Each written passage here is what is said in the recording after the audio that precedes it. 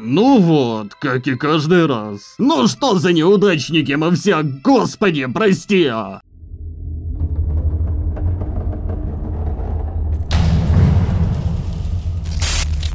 Всем привет! Вы на канале Дивплей, и мы продолжаем проходить историю одного неудачника. Не забываем пошляпать мой лайк, написать комментарий, минимум из пяти хороших слов для поддержки этого видео.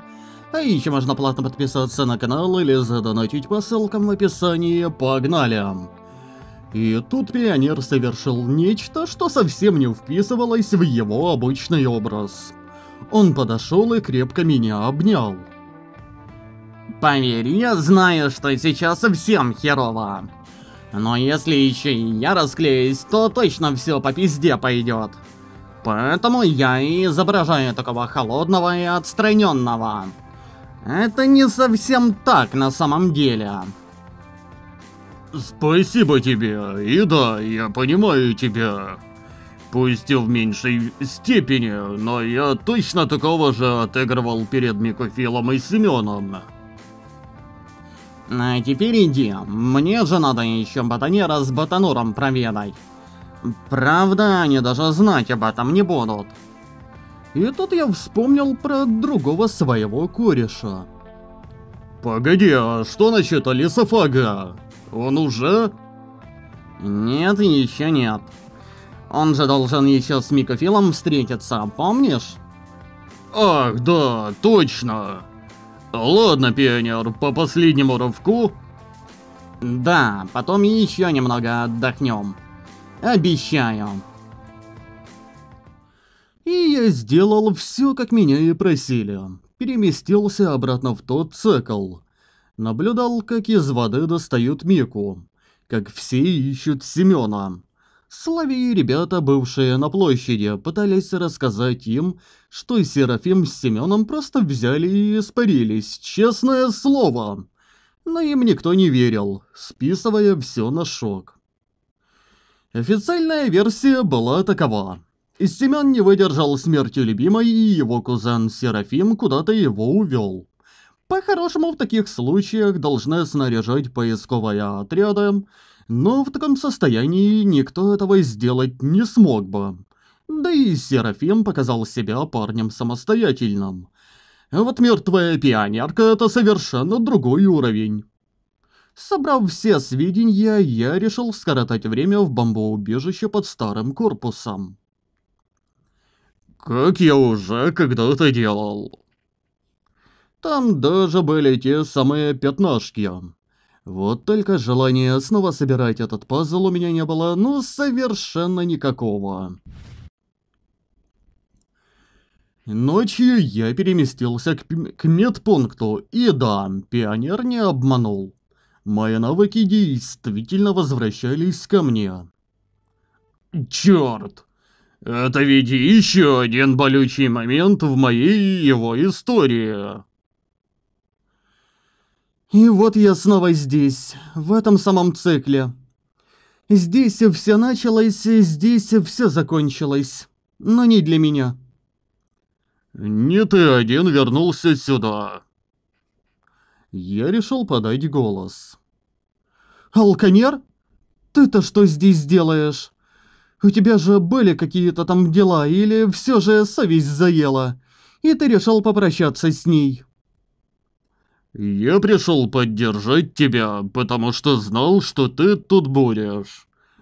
Ты, скорее всего, подумал, что они переместили ее тело в медпункт, если вытащили из воды. Да, ты прав. Она сейчас лежит здесь, потому что никто не решился садиться за руль в таком состоянии и вести ее в город. Возможно, ты также думаешь, что отточишь свои навыки и сможешь прыгнуть в прошлое. Поверь, даже если бы тебе это удалось, тебе бы не дали спасти ее. Кто бы не дал, ты или пионер? Не он и не я. У этого лагеря есть свои силы и боги. И поверь, с ними лучше не конфликтовать.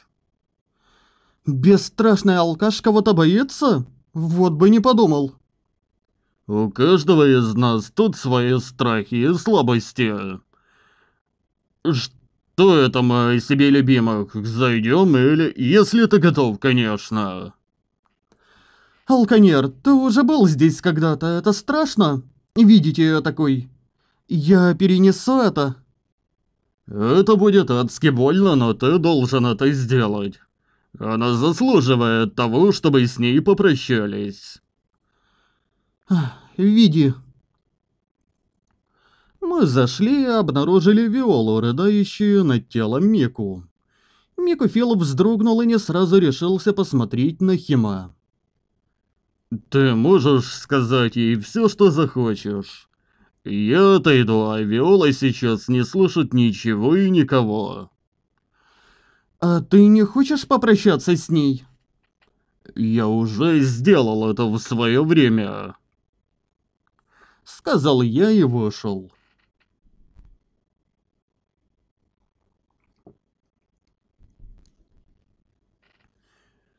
А Еще я сделал это сегодня ночью, когда нашла топиться.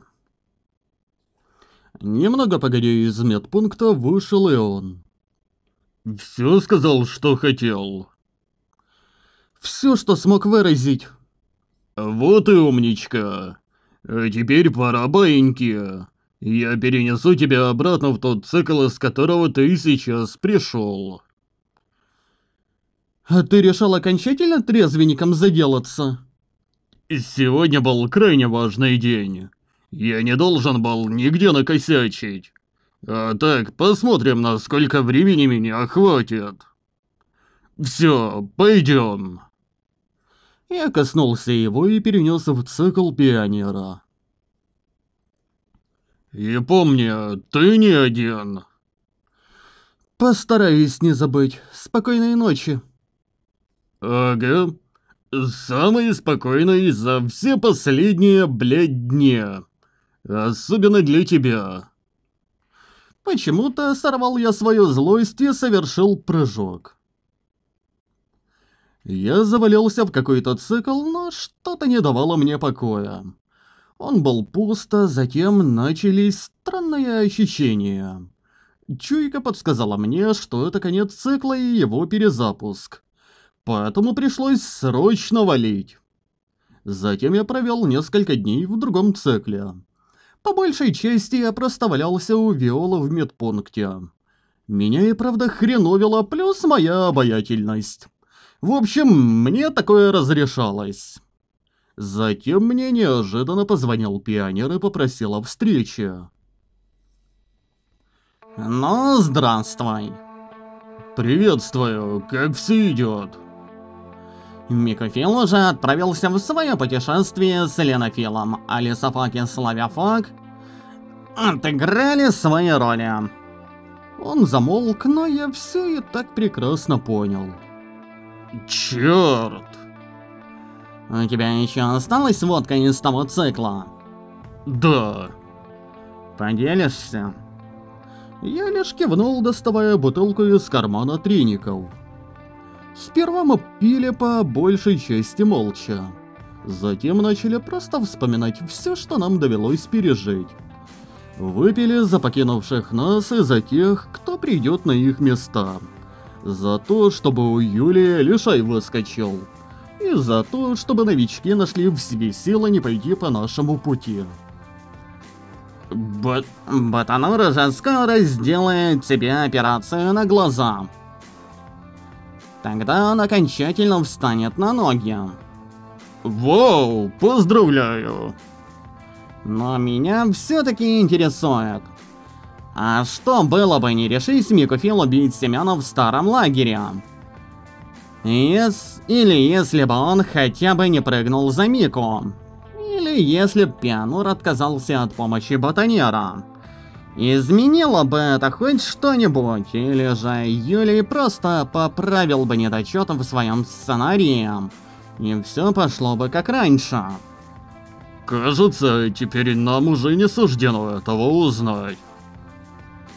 Верно, но возможно когда-нибудь... Когда-нибудь все шестеренки этого механизма встанут, либо обратятся вспять. И тогда посмотрим, что произойдет. Я с удивлением смотрел на пионера. Только что он сидел весь убитый, а сейчас в его глазах пылали злоба и ненависть. И эти красные огоньки. Интересно, в силах ли он забороть кашка-бомжа? Ведь даже Пиануру удавалось его как-то задеть. Может, ему надо просто придать уверенности и спод... сподвигнуть на это дело? Я знаю, о чем ты сейчас думаешь. Нет, я не могу рисковать всем, что готовил годами. Я прекрасно понимаю, что время еще не пришло. Будь оно так, я бы обязательно почувствовал это. Поверь. Ладно, тогда я даже высказывать ничего не буду. Мы продолжили наш своеобразный алкогольный реквием по потерянным мечтам.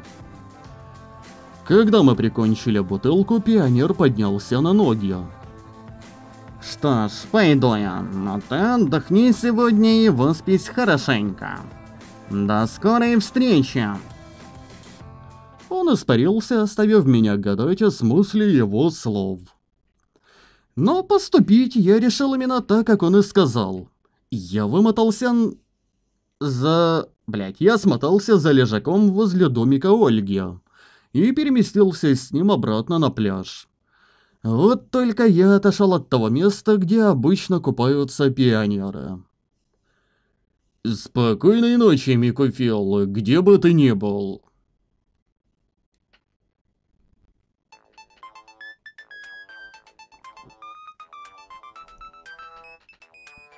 Я проснулся от звонка на мой мобильник. «Да», и снова приветствую. Ты ведь не забыл наш предыдущий разговор? Готов к свершениям во благо науки? Ботанера? Да-да, конечно. Мне все равно больше нечего делать и нечего терять. Просто скажи мне, где ты, и я перемещусь. Ботанер назвал мне координаты. Буду через секунду. Я переместился и оказался на лесной поляне. Здесь была разбита палатка, и я сразу догадался, что это дело рук ботанера. Кажется, внутри возле нее лежали всякие детали и инструменты. Я перевел взгляд и заметил нашего умника. Он стоял возле какой-то странной штуки. Описывать я ее даже не берусь. Могу сказать лишь, что она была похожа на странное изобретение из старых фильмов в жанре научной фантастики. Я даже не мог сказать, из чего этот агрегат сделан. А вот и ты! Смотрю, к тебе вернулась былая меткость перемещений. Есть такое дело, так что делать надо? Не буду утомлять тебя долгими рассказами о вычислениях, формулах и сборки этого аппарата. Но ты ведь помнишь свое освобождение из вакуумной тюрьмы? По спине прокатились мурашки. Припоминаю. Так вот, эта штука откроет похожий портал. Но я перенастроил частоты, поэтому выплюнет она нас не в одном из циклов, а в реальном мире. С некоторой долей вероятности и везения, конечно же. Звучит не сказать, чтобы совсем обнадеживающе. Ну да пофиг. Запускай свою шарманку. Я подошел к чудо-машине ботанера. Сейчас, сейчас. Я уже заканчиваю настройку, и да, мне самому не терпится попробовать. Он бегал вокруг аппарата, настраивая что-то. Я таки не понял, что именно он делал. Все, готово! Я запускаю! Он нажал на какой-то рычаг. Я оказался в уже знакомом тоннеле между пространством и временем. Из своего предыдущего опыта, подсказанного мне тогда чуйкой, я уже знал, что главное долететь до конца и не врезаться во что-то. Вот только в прошлый раз я летел один. Я слишком поздно повернул голову и понял, что мы с ботанером стремительно сближаемся. Я не услышал и не почувствовал никакого удара, меня просто ослепило ярким белым светом. Я не знал, где мы находимся, но одно понимал точно. Эксперимент явно пошел не по плану. Кто знает, вдруг у нас и правда были шансы вырваться из совенка. Но все накрылось медным тазом из-за нашей неудачливости. Да, вот так запороть самое ответственное дело в нашей жизни. А затем я услышал голос. Да, ну идите уже сюда, бедолаги. Сюда? Это куда? Ты где? На мой голос. Я не видел ботанера, лишь слышал его голос рядом с собой. Но, кажется, мы оба двинулись в одном направлении. Я стоял на той же полянке, где и начался эксперимент. Ну вот, как и каждый раз. Ну что за неудачники мы все, господи, прости! Так устаю делать одно и то же. А надо ведь сейчас еще записку Микофилу написать майку с трениками из аномального цикла доставить. Толику перед началом смены сказать, что парня, сидящего рядом с ним в автобусе, зовут Пианур. Короче говоря, для кого-то это конец пути. А у меня еще работы непочатый край. Вершина эволюции? То есть их выплюнуло в начало пути? Чего, блядь? Ладно, признаюсь, что понятно чуть больше, чем нихуя. Ну, ладно. На этом у нас заканчивается рут Алканьера. Наверное, самый веселый рут. А дальше у нас будет... А, ботанер? Кажется. Ботанер и вампанер еще остаются. Собственно, да, в следующий раз начинаем Ботанера, а на этом сегодня будем заканчивать. Всем спасибо за просмотр и всем пока. Вернись ко мне, моя.